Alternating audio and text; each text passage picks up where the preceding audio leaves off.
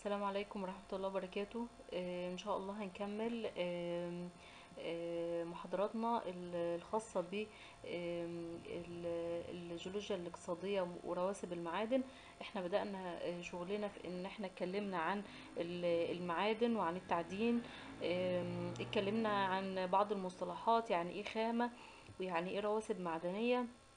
وخدنا دراسات الجدوى اللي بيعملوها علشان خاطر آه، لو هم هيعملوا مناجم أو يستخرجوا مثلا خامة اقتصادية آه، وقسمنا ال- الرواسب المعدنية دي على حسب أشكالها. قلنا إنها ممكن تبقى موجودة على شكل طبقات ممكن تبقى موجودة على شكل آه، عروق أو ممكن تبقى موجودة على شكل متداخلات نارية. وبعد كده قسمناها مرة آه، كيمياء يعني على حسب الكيمياء بتاعتها لفلزات ولا فلزات وأجسام مائية ومواد وقود وطاقة.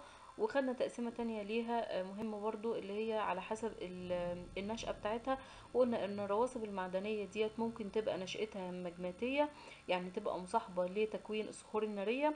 ممكن تبقى نشأتها رسوبية يعني مصاحبة لتكوين الصخور الرسوبية. ممكن تبقى نشأتها آه، متحولة يعني مصاحبة لتكوين الصخور المتحولة. آه، درسنا أول نوع اللي هو الرواسب المعدنية المجماتية. وقلنا إن ال- الرواسب المعدنية المجماتية في منها نوعين في منها نوع مبكر آه، يعني بيتكون مع المراحل المبكرة لتكوين ال- ال- المجمى آه، وفي الغالب بيبقى مصاحب للصخور القاعدية والصخور الفوق قاعديه يعني بيتكون معاهم. وقلنا إن في نوع تاني اللي هو رواسب معدنية آه، مجماتية متأخرة. يعني الرواسب المعدنية اللي بتبقى مع تبلور المجمى في الفترات الأخيرة بتاعتها من تبلورها آه، وفي الغالب بتبقى طبعا المعادن اللي بتبقى بتتكون في الآخر خالص على حسب سلسلة باون للتفاعل اللي أنتوا عارفينها إن بيبقى عندي المعادن اللي بتبقى ال silicate اللي هي زي الكوارتز أو المايكا أو الفلسبارات دي كلها بيسموها معادن silicate. فهي بتبقى مصاحبة آه، للمعادن ديت. عشان كده ال ال الأنواع آه، ديت من الرواسب بتبقى موجودة قطعة للصخور النارية أو بتبقى مثلا مبعترة فيها أو مثلا بتبقى مالية الشقوق أو ال- الكسور الأرضية اللي موجودة في ال- الصخور النارية آه، عامة. الأنواع بتاعتها آه، بيبقى في منها كذا نوع اللي هي الرواسب المعدنية المتأخرة دي.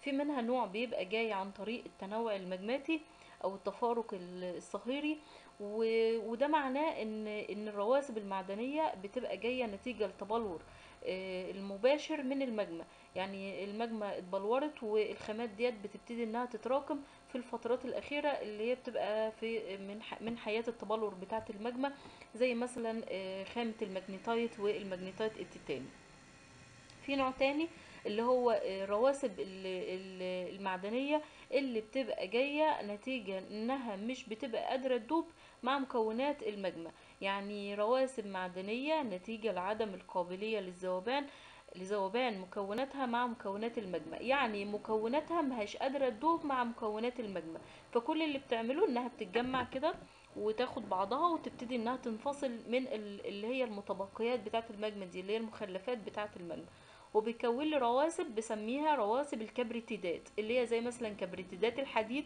اللي هو معدن اللي إحنا عارفين اللي هو معدن pyrite أو كبريتيدات النحاس اللي هو معدن تاني اسمه ال chalcopyrite. دي أمثلة عليها. تالت نوع اللي هو رواسب بتبقى جاية نتيجة لتبلور المخلفات بتاعة المجمى مخلفات المجمى يعني إيه؟ يعني الحاجات اللي بتبقى فاضلة في الآخر خالص بعد ما كل صخور بتتكون. بيفضل عندي مخلفات بتبقى غنية جدا بالسيليكا والعناصر القلوية ف... وبيبقى بها برضو بعض العناصر التانية اللي بيبقى لها ليها بيبقى لها قيمة اقتصادية. فأنا دلوقتي عندي ثلاث أنواع من الرواسب المعدنية المتأخرة. نوع بيبقى جاي عن طريق التنوع المجماتي زي ال magnetite وال magnetite الت- التيتاني. ونوع بيبقى جاي نتيجة لإن مكوناته مش قادرة تدوب مع مكونات المجمى فبتتجمع وتنفصل. فدي زي مثلا الكبريتيدات الحديد والنحاس زي معدن ال pyrite وال chalcopyrite وفي رواسب معدنية بتبقى جاية آه، نتيجة تبلور المخلفات الب- البواقي بتاعت المجمى اللي بتفضل في الآخر خالص. زي ما إحنا هنشوف دلوقتي اسمها صخور البيجماتيت أم، من الامثله طبعا إحنا اتفقنا إن إحنا بناخد يعني إيه رواسب معدنية مثلا مبكرة وبعد كده ناخد أمثلة عليها وناخد أمثلة عليها في مصر. برضو نفس الكلام إحنا برضو بنشوف الرواسب المعدنية المتأخرة دي يعني إيه وايه أنواعها وبعد كده بناخد الأمثلة بتاعتها. فاحنا عندنا أمثلة للرواسب المعدنية المتأخرة إيه، زي أول حاجة اللي هو رواسب ال magnetite رواسب ال magnetite اللي هو ال Fe 2 O 3 أسفة هي المو... هي ال- ال magnetite Fe 3 O 4 معلش هي غلطة يعني. لو هي عندكم في المذاكرة ممكن آه، نصلحها. رواسب ال magnetite اللي هو Fe 3 O 4 ال- الرواسب دي بتبقى موجودة على شكل أحزمة أو أشرطة رقيقة خالص. تمام بتبقى ماشية مع الصخور النارية القاعدية. هتقول لي إيه اللي جاب الصخور النارية القاعدية في ال في ال- في الرواسب المعدنية المتأخرة؟ هي الصخور النارية القاعدية خلاص اتكونت وخلصت بس ممكن الرواسب دي اللي هي بتبقى جاية في المراحل المتأخرة دي تلاقي مثلا شروخ أو شقوق في الصخور النارية القاعدية فتبتدي إنها تتداخل فيها وتبقى تترسب على شكل أحزمة أو شرائط تمام؟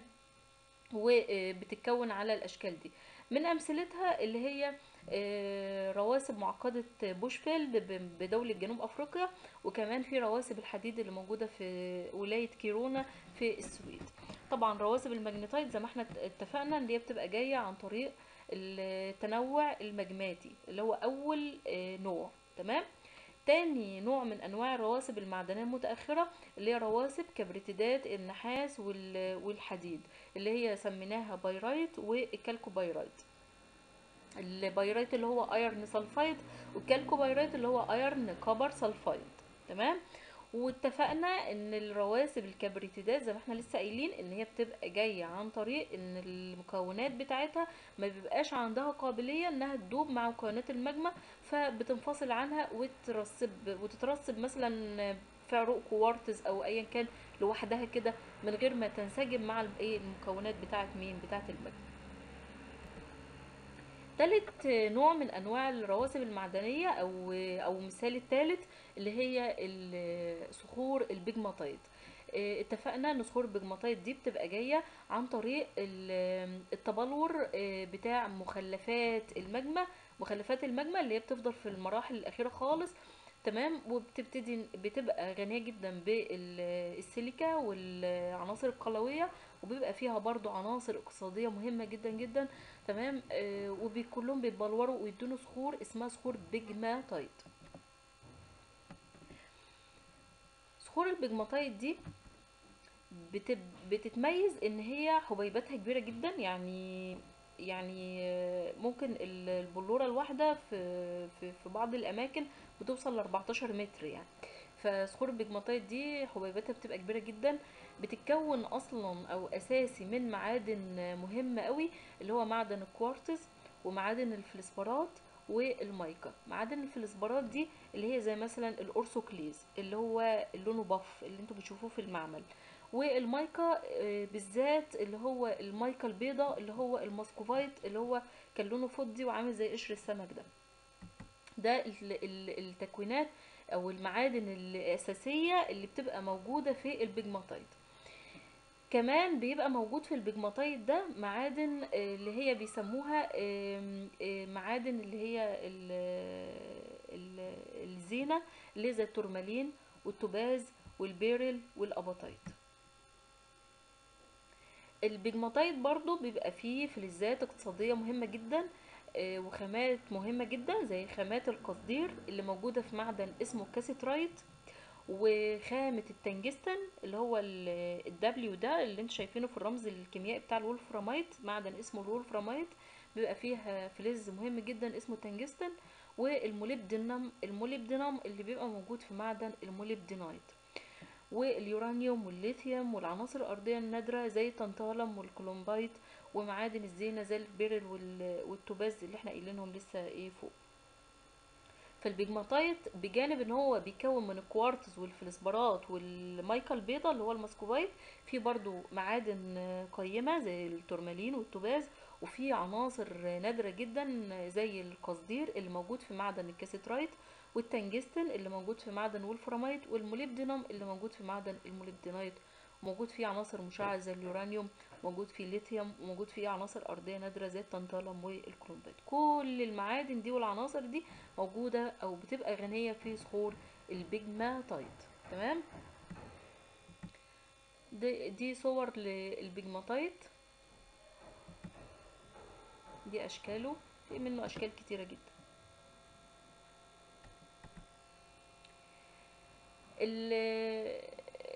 إحنا هنصنف بقى المعادن اللي بتبقى موجودة في ال pegmatite دي. يعني المعادن الكتيرة اللي هي بقى كوارتز وفلسبرات ومايكا و columbite و cassiterite والولفراميت وتوباز و corundum والحاجات دي كلها مش corundum آسفة مثلا تورمالين مثلا وال beryl والحاجات دي كلها. كل المعادن ديت أو الرواسب المعدنية دي هنقسمها اللي هي بتبقى موجودة في ال pegmatite دي هنقسمها لثلاث أنواع. أول نوع اسمه رواسب العناصر النادرة. تاني نوع اسمها المعادن الصناعية. أول نوع اللي هو رواسب العناصر النادرة. تاني نوع اسمها المعادن الصناعية. تالت نوع المعادن اللي هي القيمة أو الأحجار الكريمة. تمام؟ فالرواسب المعدنية أو المعادن اللي بتبقى موجودة في ال pegmatite دي أول نوع اللي هو رواسب العناصر النادرة. رواسب العناصر النادرة دي زي مثلا معادن البريليوم أو أسف عناصر اللي هي البريليوم النوبيوم ال tantalum الليثيوم الروبيديوم السيزيوم وهكذا. المعادن ديت لما بتبقى موجودة بكميات اقتصادية في ال pegmatite طبعا بيستغلوها إن هي بتخش في العديد من مجالات التكنولوجيا المختلفة صناعة بقى الكمبيوترات صناعة الآلات الحاسبة صناعة الطيارات وهكذا. فالعناصر النادرة دي بتخش في المجالات التكنولوجية. عندك مثلا ناخد منها مثالين اللي هو التنتالم والنوبيوم التنتالم ده بيتميز بإيه؟ بيتميز بإن درجة انصهاره عالية جدا. يعني بينصهر عن درجة حرارة مرتفعة جدا. فبالتالي بيتحمل درجات الحرارة العالية جدا. يعني مادام درجة انصهاره مرتفعة يعني بينصهر عن درجة حرارة عالية يبقى اذا هو بيتحمل درجات الحرارة العالية. وكمان هو بيتميز إنه له قدرة عالية جدا على مقاومة التآكل. يعني مش بيصدي بسهولة. وعنده قدرة عالية كمان إن هو يوصل الحرارة ويوصل الكهرباء. دي كلها مميزات الفلز بتاع مين؟ بتاعت اللي هو فلز التنتالم ده. علشان كده التنتالم ده بيخش في صناعات عديدة جدا. أهمها المكثفات الإلكترونية اللي موجودة في الحاسبة الحاسبة يعني حاسبات الآلة المكثف ده اللي هو الحاجات اللي أنتم شايفينها دي. إحنا طبعا عارفين شكلها بس ما تعرفش إنها اسمها مكثف. يعني كتير مننا مش عارفين. ده بيسموها المكثفات الإلكترونية. تمام؟ ده اللي بيخش في في تصنيعها مين؟ اللي هو التنتالم تاني حاجة بيخش في أنظمة الاتصالات والتحكم عن بعد اللي بتبقى موجودة في الطيارات والسفن والصواريخ. موجود برضو بيخش في صناعة السبائك اللي هي بتبقى فائقة التوصيل المستخدمة في الصناعات الفضائية ومحركات الطيارات. يعني بيخش في صناعة السبائك اللي بتوصل مثلا حرارة أو بتوصل كهرباء. إحنا اتفقنا ان هو موصل جيد للكهرباء والحرارة. وكمان بيخش في الصناعات الكيماوية زي مثلا المبادلات الحرارية والمبخرات والمكثفات والمضخات. المبخرات دي اللي هي الجاز اللي انت شايفه ده اللي بيبقى موجود في التلاجة أو بيبقى موجود في في مثلا في التكييف المبخر ده بيعمل إن هو بياخد المادة اللي هي زي مثلا الفريون اللي أنتوا عارفينه ده ويحولها لغاز بارد. يعني اللي هو بقى اللي هو نظام التبريد اللي بيبقى موجود في الغساء في في التلاجة وفي الفريزر أو موجود في التكييف. المكثفات اللي إحنا اتكلمنا عنها دي المضخات اللي هي اللي هي المضخات اللي هي الترمبات مثلا أو المواتير بتاعة المية. okay؟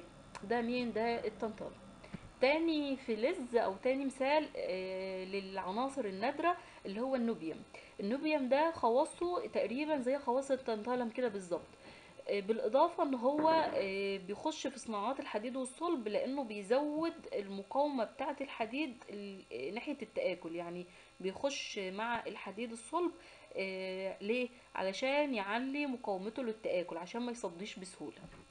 وكمان بيخش في صناعة السبائك الخفيفة اللي بيستخدموها في محركات العربيات بيخش في صناعة السبائك اللي بيستخدموها في محركات الصواريخ والصناعات الف- الفضائية بيخش في الصناعات الإلكترونية والبصرية زي ال lenses أو العدسات ال- البصرية بتاعة النظارات وال lenses اللي هي بتلبس على العين على طول دي.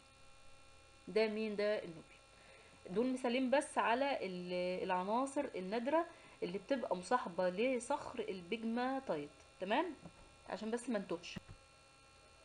تاني نوع من ال- المعادن أو الرواسب المعدنية اللي بتبقى مصاحبة لل pegmatite اللي هي المعادن الصناعية. المعادن الصناعية دي زي معادن الفلسبرات والكوارتز. الفلسبرات دي اتفقنا إن هي عبارة عن plagioclase وال orthoclase والكوارتز. دول بيخشوا في صناعة يعني في يعني بيخشوا بشكل أساسي في صناعة السيراميك والإزاز والخزف والصيني والبورسلين بيخش في صناعة الفلسبر الفلسبرات ال orthoclase وال plagioclase والكوارتز بيخشوا في الصناعات دي كلها.